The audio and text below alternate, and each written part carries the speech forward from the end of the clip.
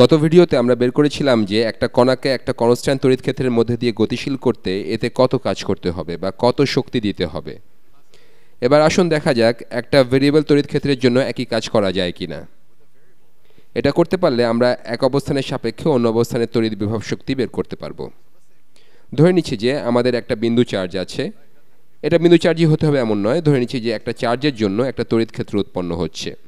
আমরা ধরে নিচ্ছি যে চার্জটা হলো পজিটিভ কিউ ওয়ান চার্জটা হলো পজিটিভ কিউ ওয়ান কুলম্ব আপনি এটার বলরেখাগুলো আঁকতে পারেন।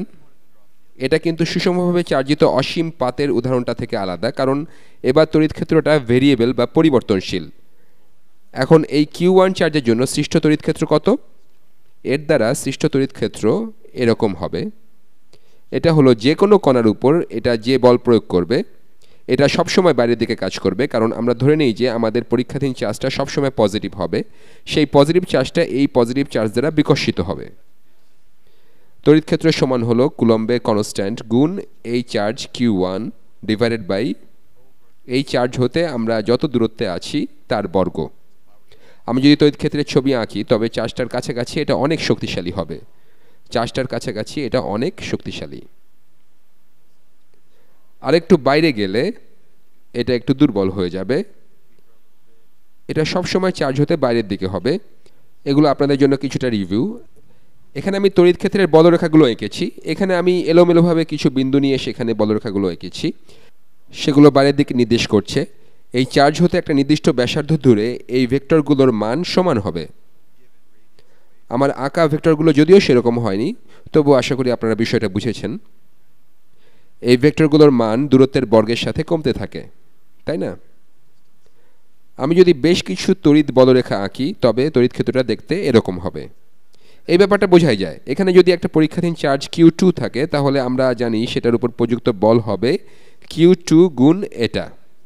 কুলম্বের সূত্র থেকে এটাই পাওয়া যায়। তাহলে অন্য চার্জ কিউ টু এর উপর প্রযুক্ত বল সমান হবে তড়িৎ ক্ষেত্র গুণ কিউ টু সমান, এটা কিউ স্কোয়ার না, এটা কিউ টু এটা সমান K Q one Q two by R square এটা আসলে কুলম্বের সূত্র। আর এই জিনিসটাও কুলম্বের সূত্র থেকেই আসে, আমরা এটা জানি। এবার এখানে আমরা একটা পজিটিভ কণা নেই, আর এটাকে বলি কিউ টু কিউ টু বড় হাতের কিউ নয়, এটা হবে ছোট হাতের কিউ আমি উপরে লিখছি, কারণ নিচে হিজিবিজি হয়ে গেছে। আমরা ধরছি যে এটা হলো পজিটিভ চার্জ তাহলে এই চার্জটা আগের কিউ ওয়ান চার্জ দ্বারা বিকর্ষিত হবে। এবার বের করা যাক যে এটা কণাটাকে ঠেলে ভেতরের দিকে কিছু দূর সরাতে কত কাজ করতে হবে। তড়িৎ ক্ষেত্রটা যেহেতু এটাকে বাইরে ঠেলছে, তাই এটাকে ভেতরের দিকে ঠেলতে কিছু কাজ করতে হবে।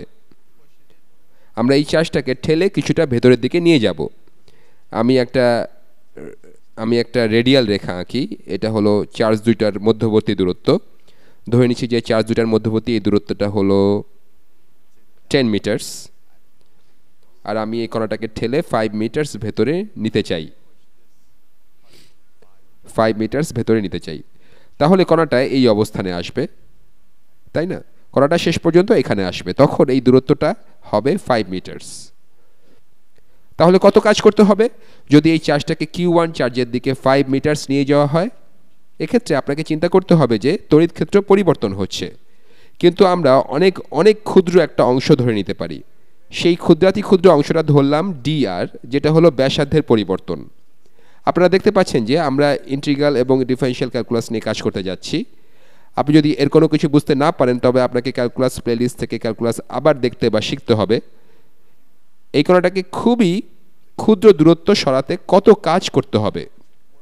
কত কাজ করতে হবে খুবই ক্ষুদ্র দূরত্ব সরাতে। আমরা ধরে নিচ্ছি যে এই ক্ষুদ্র অংশটার মধ্যে তড়িৎ ক্ষেত্র প্রায় কনস্ট্যান্ট তাহলে আমরা বলতে পারি যে সামান্য পরিমাণ কাজ কণাটাকে খুব সামান্য দূরত্ব সরাতে করতে হবে। সেটা সমান হলো কুলম্বে constant Q one Q two divided by R square গুণ ডিআর আরও সামনে আগানোর আগে একটা বিষয় নিয়ে কিছুটা চিন্তা করা যাক। কুলম্বের সূত্র থেকে আমরা জানি, এটা হলো বাইরের দিকের সেই বল যেটা এই চার্জটা এই কণার উপর প্রয়োগ করছে বা তড়িৎ ক্ষেত্রটা এই কণার উপর প্রয়োগ করছে। তাহলে আমাদেরকে যেই বল প্রয়োগ করে কণাটাকে এখান থেকে এখান থেকে এখানে আনতে হবে, সেটা হবে ভেতরের দিকে বা বলা যায় ঠিক বিপরীত দিকে। তাহলে এটা হবে নেগেটিভ। এর কারণ কি? এর কারণ হলো আমাদেরকে সম্পূর্ণভাবে তড়িৎ ক্ষেত্রের বল নিষ্ক্রিয় করতে হবে। কণাটা যদি এর মধ্যে একটু গতিশীল হয়ে থাকে, তবে আমাদের প্রযুক্ত বলের কারণে তড়িৎ ক্ষেত্রে এর গতি কমবে না। আর এটা যদি এর মধ্যেই গতিশীল না হয়ে থাকে, তবে এটাকে তড়িৎ ক্ষেত্রের বলের চেয়ে সামান্য বেশি বল প্রয়োগ করে গতিশীল করতে হবে। এরপর আমাদের প্রযুক্ত বল তড়িৎ ক্ষেত্রের বলকে সম্পূর্ণ নিষ্ক্রিয় করবে। আর এরপর কণাটার গতি কমবেও না, বাড়বেও না। তাহলে এটা হলো কৃতকাজের পরিমাণ। আর আমি নেগেটিভ চিহ্ন দেওয়ার কারণটা বলেছি যে, কণাটা তড়িৎ ক্ষেত্রের বিপরীত দিকে যাচ্ছে। আমরা কীভাবে মোট কাজের পরিমাণ বের করব? আমরা বের করেছি যে কণাটাকে এখান থেকে এখানে নিতে কত কাজ করতে হবে। এটা যত বড় হওয়ার কথা, আমি তার চেয়ে অনেক বড় করে এঁকেছি। এই ডিআর হলো ব্যাসাদের ক্ষুদ্রাতি ক্ষুদ্র পরিবর্তন। আমরা মোট কাজ বের করতে চাইলে এদের সবগুলোকে যোগ করতে হবে। আমাদের বের করতে হবে এখান থেকে এখানে যেতে কত কাজ করতে হয়, এখান থেকে এখানে আসতে কত কাজ করতে হবে, এখান থেকে এখানে। এভাবে ফাইভ মিটার্স দূরে না আসা পর্যন্ত কাজের পরিমাণ বের করতে হবে। আর এই অংশগুলো যখন আমরা যোগ করি, তখন ধরে নেই যে এটা হলো ক্ষুদ্রাতি ক্ষুদ্র অসীম সংখ্যক অংশের যোগফল। আর আমরা জানি যে এটা আসলে ইন্ট্রিগাল নেওয়া ছাড়া আর কিছুই নয়। তাহলে এখানে মোট কাজ মোট কাজ সমান হলো ইন্ট্রিগাল আর এটা কিন্তু ডেফিনিট ইন্ট্রিগাল কারণ আমরা এই অংশটুকুর মধ্যে সমষ্টি নিচ্ছি। আমরা যেখান থেকে যোগ করা শুরু করেছি, সেখানকার ব্যাসার্ধ হলো টেন মিটার্স।